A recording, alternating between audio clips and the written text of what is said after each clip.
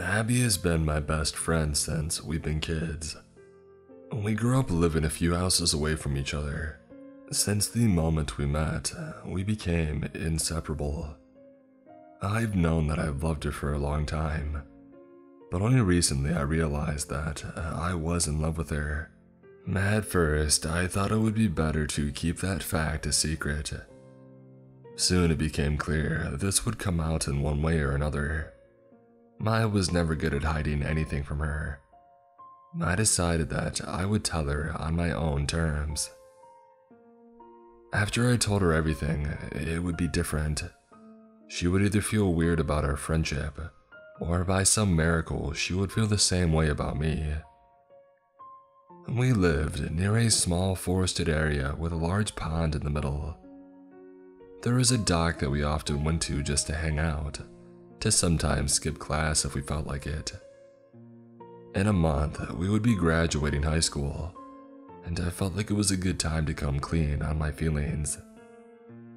Since we both loved the dog, I figured that might be the best place to go to break the news. She gladly agreed to hang out and we started towards the park. Just before we went back onto the trail, we saw a man that was somewhat of a local fixture. He walked around and cleaned up garbage from the side of the road. He took in bottles and cans for money, but because he was already picking up trash, he cleaned up whatever he came across. Abby was a little frightened of him. He was bone thin and did some prison time. Normally dressed in well worn but mostly clean clothing, he didn't seem like the type of person that we should talk with. I had no issue with him, and kind of respected him for cleaning up the area. He was just walking out of the woods with a nearly full clear trash bag. It took me a few seconds to remember his name. What are you girls up to? Taking a hike? He asked when he was close enough to speak with us. I could never place his accent. It was faint. Once I noticed it, I was super bothered at trying to figure it out. Just going for a short walk, Mr. Kendall. The high school students knew him because he would do everyone a favor and clean up after any big parties. Despite his appearance, he was an alright guy. I wondered what mistake in his past got him in prison in the first place. Be careful, alright? The woods feel bad today. Plus, they're in those, uh, what are they? The yippin' thing. Coyotes? Yeah, you heard some. Come back out soon. Abby kept her distance when we spoke, and I don't think he blamed her. A lot of people didn't get close to him. At least, he was a good enough of a person to worry about us. In all my years of living in the area, I've never seen a coyote, but I knew that they lived in the woods. Uh, we'll be careful. Thank you, Mr. Kendall. Yes, thank you, Abby added. She didn't look as wary as before. I think she was always so freaked out by him because they had never actually talked to each other before. He gave us a worried look but continued on down the road looking for more cans. We should have listened to him and stayed out of the woods. As we walked, we spoke about the current drama within our friend group and our future plans. We had took this path a hundred times before, so we didn't even pay attention to where we were headed. And don't you think we'll have enough money to move in with each other after school? Abby asked me when we brought up future goals. I wanted nothing more than to live with her, but I didn't think she would want anything to do with me after that night. I hope so. I've been saving whatever I've got from my job, I told her. I only had a part-time job and delivered newspapers before school. It wasn't much, but at least it was something to start with. Abby opened her mouth to speak when she heard a noise. Her hand flew into mine as we both looked around, trying to locate the source. It was a thumping sound, one that echoed through the trees. We stopped dead on the trail, wondering what the heck could have made a noise like that. Do you think a tree fell over? I offered. No, I've heard trees falling. It's more cracking than a big thud. Abby said, trying to keep her voice even. Another thud came and we both jumped. After a few more coming ever closer, I decided my confession could wait. Whatever that noise was, we did not want to find out. Um, time to go, I asked her, and she nodded her head and confirmed it. Still, with her hand in my own, I turned to walk back the way that we came, and thought that I went blind for a few seconds.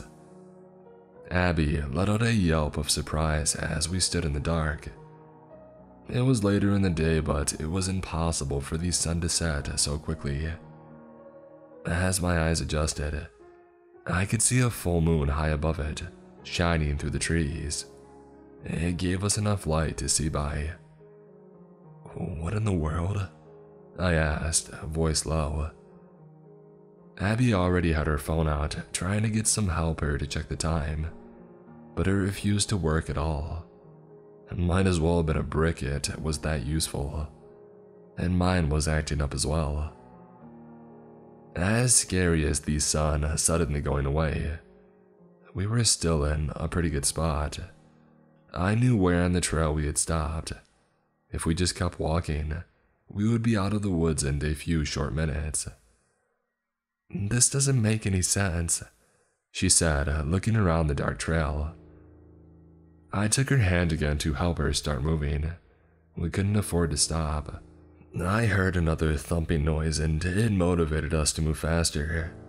No matter how far we walked, it felt like we were going nowhere. I was starting to get very scared but needed to keep it together for her. Those uh, thumping noises kept echoing around us. As more time passed and we didn't get to the end of the trail, I found that I could gather up my courage enough to turn my head towards the noise. What I saw would remain in my nightmares forever. At first, I thought I saw someone hanging in the trees. I saw a pale figure dressed in white, their feet dangling. The thumping sound was the wind blowing the body against the tree. I felt sick and the sight made me freeze in my tracks.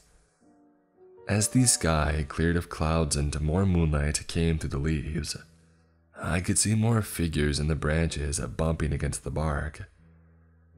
Abby let out a choked sob when she saw what I was staring at. But something was wrong.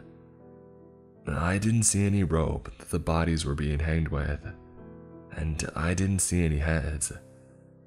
If there was no rope, then how were those bodies in the air like that? My skin crawled and I wanted to get the heck out of there. I tugged on Abby's hand for us to get moving again.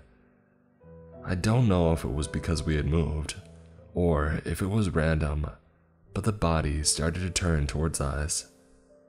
I didn't want to stick around. I was nearly dragging Abby as we bolted down the path. As we ran, I heard those bodies following us.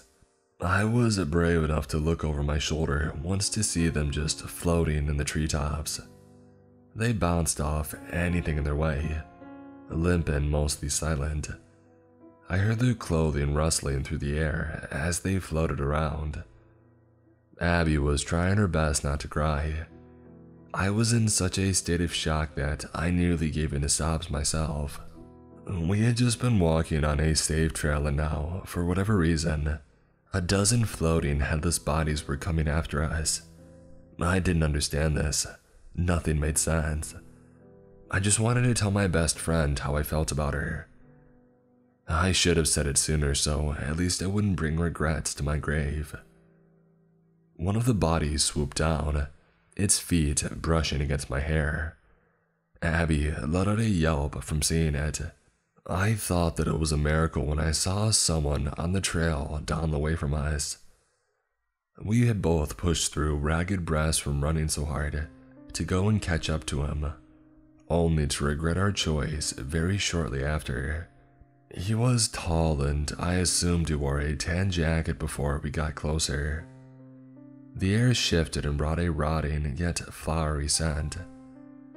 The figure turned towards us and we both let out a scream. It was so thin that we could see every bone in its body. A sheet tied around its waist and flowers around its neck, but no head. That tall figure looked and smelled like a headless, rotting corpse. We both skidded to a stop to stay away from this new thing, the floating bodies getting closer. I held into Abby and helped her duck as more of them swooped down and narrowly missed us. The corpse walked towards us with long strides. In one hand, it held a long pole with a hook at the end. Using the pole, it swatted some of the bodies away. If I wasn't so scared, I would have laughed at the image. We started to back away as the new creature came towards us. Abby was snatched from my arms as the monster hooked her waist with the pole and dragged her forwards. I quickly grabbed her again to try and get her back to me, but this thing was far too strong. We cried, begging it to spare us, and I begged it to at least spare Abby. All the while, I heard more thumping sounds above us. When it unhooked the pole to grab her arm, I took that as my chance to swoop in and I ran away with her. I felt the hook catch the back of my shirt, but it just ripped, letting us go free. Now we had a new monster following us, and with no plan, we ran. The forest changing around us to a place that we didn't recognize. I thought that I saw the sky getting lighter, and my heart leapt into my chest, hoping that we had found a way out. But suddenly, the woods shifted and I found us right in front of a drop off. We stopped just in time, sweat dripping from our faces and our lungs burning. There was a hill in front of us that was not a part of the area. The woods were far too small for a hill like this, and for how high up we were, we should be able to see some houses. But instead, just dark woods as far as we could see. Do you? Abby said, but too out of breath to keep speaking. I knew what she meant. She wanted to see if we had gotten away. I turned to answer her question and saw that the corpse easily followed us. Being so distracted by the drop off, we didn't hear or see it. Extending the pole out in front of him, he hooked my ankle to pull my foot from underneath me. I fell back and off the hill, with Abby still holding onto me. We both tumbled down, expecting to die from the fall. I was scared but also angry that it was such a lame way to go out. I closed my eyes and held on to my friend as tightly as I could. The fall felt like years, but the impact wasn't all that painful.